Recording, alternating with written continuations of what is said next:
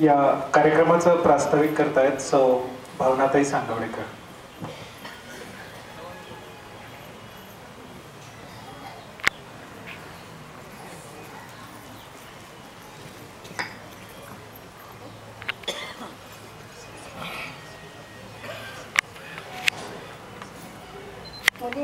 श्री सद्गुरू विश्वनाथ महाराज रुकडीकर यांच्या त्र्याण्णव्या पुण्यतिथी उत्सवात मी भावना सांगोडेकर तुमचे सर्वांचे मनापासून स्वागत करते. दरवर्षीप्रमाणे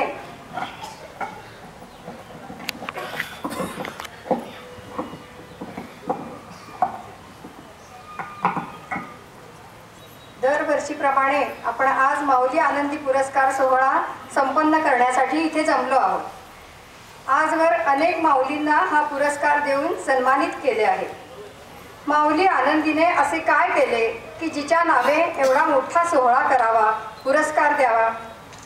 आज आपण हजारोंच्या संख्येत या मांडवाखाली एकत्र येऊन ज्ञानेश्वरीचे पारायण करतो.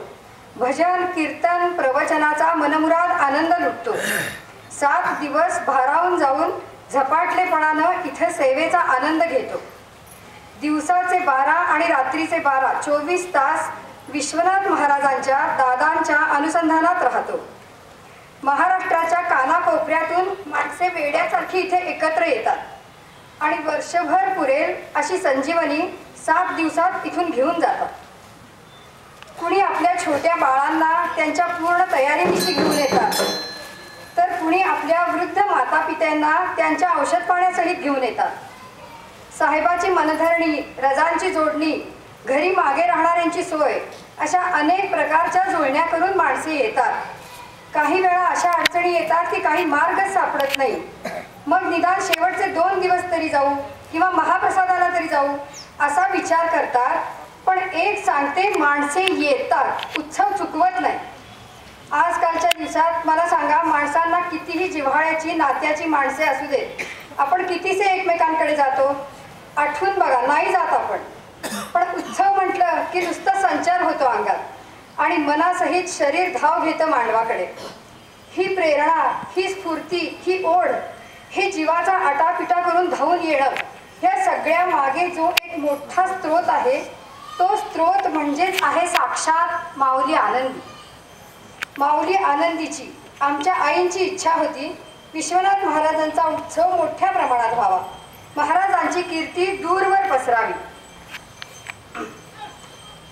मला आश्चर्य वाटते तुमच्या आमच्यासारख्या सामान्य गृहिणी असणाऱ्या या स्त्रीने इच्छा पण काय केली बघा? ना त्यांनी कधी गाडी बंगल्याची आशा केली ना कधी त्यांना असे वाटले की चार मुलगे आहेत चौघांची चार घरे व्हावीत प्रत्येक सुनेकडे तीन तीन महिने आराम करीन किंवा माझी मुले मला काशी यात्रा घडवतील? छे असले सामान्य विचार त्यांनी कधी केलेच नाही त्यांनी एकच ध्यास केला महाराजांच्या भरभराटीचा.